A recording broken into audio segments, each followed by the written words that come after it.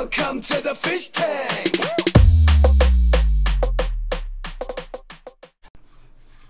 Hey everybody, Fishman here. Welcome to another video.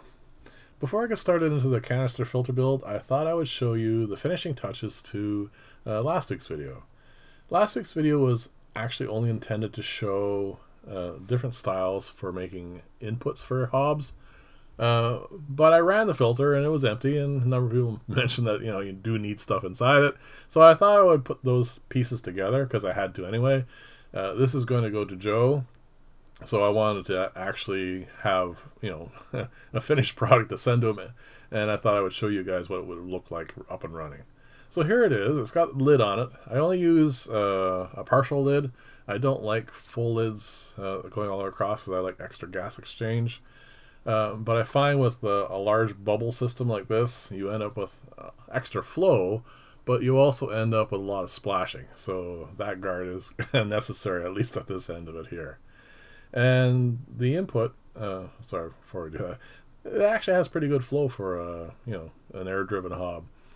Now, the basket that goes inside, uh, you can pack a sponge in there, um, lava rock, whatever you like. It's uh, it's one of those things that's uh, designed so that you can do whatever you want with it. Now, I made it out of 16th inch, uh, Joe. I usually make it out of 8th, uh, but I didn't have any kicking around. So I'm kind of curious. Let me know how that works out. It should be more than sturdy enough, but uh, uh, I always like getting feedback on these things. So definitely once you have it up and running, just uh, let me know how it works out. And I'll be getting that into the mail for you this week, Joe. Uh, you've definitely waited long enough for this, and I don't want to get it to you. Now this is a clip I've already showed you. Uh, this is the material I want to make the canister filter out of. Uh, I really want this to look really nice, so I'm going to go the extra mile on uh, making the finish better. The first piece there, you can see I ran through the lathe. Uh, this is the saw cut one. I mean, the new saw looks really nice. I mean, it does a good job. But like I said, I want this to look uh, as nice as possible. I want this to be uh, as professional looking as uh, I can make it. Now, that means I have to develop a couple new techniques. Uh, now, this is the arbor I've been using all along, and it makes great discs for that fit on the inside, but I need to find another way of making uh, discs that fit on the outside. And that's the reason why this video has been uh, cut into two pieces. But first, uh, these are going to be the cups that are going to hold uh, the materials for the filter.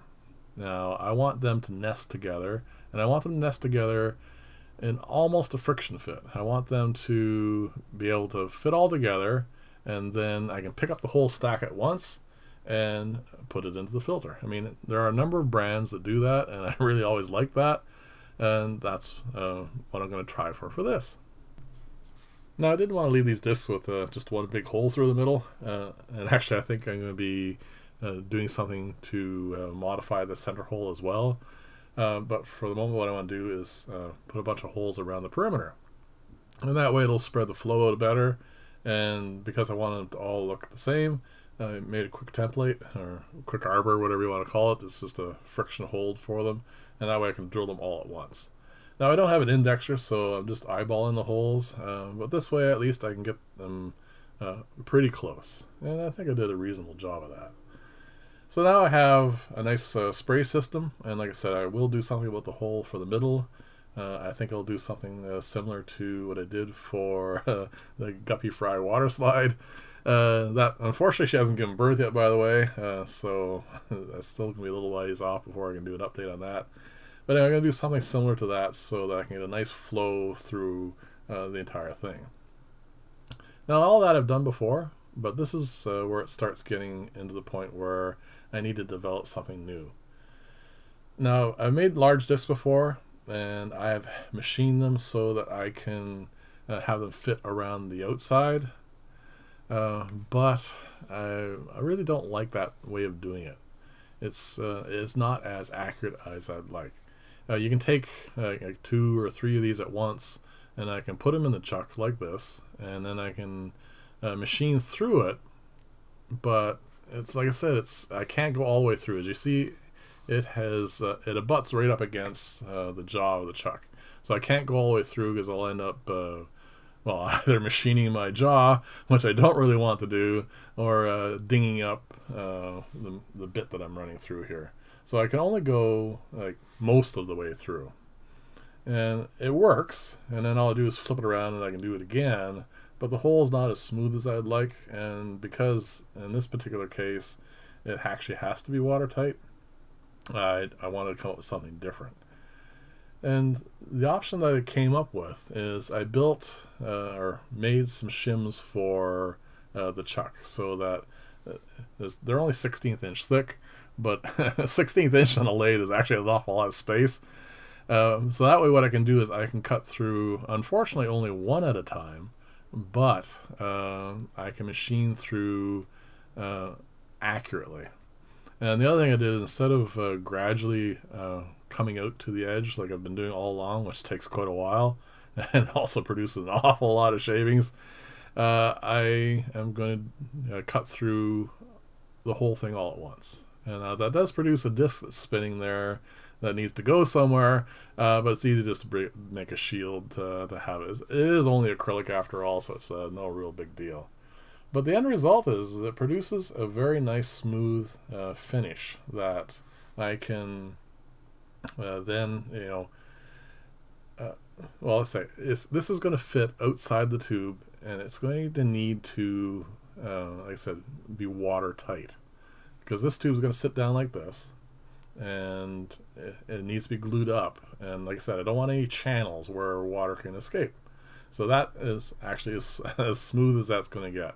Now I don't want the bottom also to just be a square piece of acrylic sitting on this. I mean, the whole point of doing this is to make it look really, really nice. So what I'm going to need to do for this is I'm going to, first off, I'm going to uh, use a saw just to cut off the extra bit of square. Like I don't want to, you know, putting this in the lathe is going to put a fair amount of pressure on it.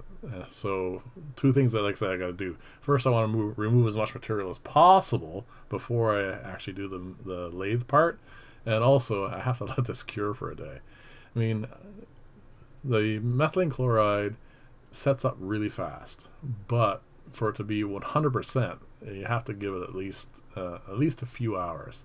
So I gave it 24 because I didn't want this to uh, to fail. I wanted to look, uh, like I said, as neat as possible. So there you go, just uh, gluing up the cups while I'm telling you about that part. Uh, that's uh, nothing new, and these are just going to nest together like that. And it's actually really quite a nice fit that way. So let's get on to the tricky part. and that is going to be uh, mounting this so that I can uh, machine this so that it is a, a, a, perfectly nice fit. So you can see I've hacked that off. as just to put it through the saw. It's uh, nothing special about it. And then I'm going to gradually machine this down. Now the nice thing is because I'm using uh, I'm the pressure I'm putting is on the from the jaws is from the inside. As you can see here, it is uh, holding it not from the outside but from the inside. Uh, that means I can machine this right down to uh, the actual diameter of the uh, of the original round disc. And actually, the smooth finish I get off this is really nice. I really like it. I'm showing you the stages as I go along here, uh, but eventually it just gets down to the point where it's really quite neat and easy and even. And I really do like that. Now the thing is, I could leave it uh, with this extra lip on it, but I decided what I wanted to do, again, just to make it look as neat as possible, is I'm going to machine this right down so that they are uh, the same diameter. And I think it looks uh, really quite nice that way. So this is going to be the base for uh, the canister filter. I'm going to set this inside here and glue that up and that is going to be the bottom for the filter and I think it looks really kind of cool, especially after I take off that uh, the blue padding that's on there. So I'm going to do that as a quick glue up here, uh, and that's pretty much as much as I can fit in this video. Uh, on Friday's video, I will uh, get this all up and running for you, and let me know what you think of uh, the look of this. I mean, I think it looks really quite cool. I mean, like I said, it fits really nicely together and it's uh, definitely not tacky like having a square bottom on it and I, I really didn't like that so anyway if you like this style of video please like and or subscribe and like I said I always appreciate and I definitely try to answer all the comments I get uh, let me know what you think about this and uh, what you think of how it's going to look So I'm going to just glue this up. And then I'm going to show you that the, the, can the um, I've done up, I think, three of the inserts at this point, And I'm just going to show you what that looks like as well. But again, that'll be all for Friday's video. And I will definitely have this up and running. So that's uh, the way they nest together, and that's the way I want them to go. I want, I mean, the third, the fourth one I haven't done yet, um, but they'll fit together like that. So there you go. Thanks for watching, uh, and I'll see you in the next video, and uh, bye for now.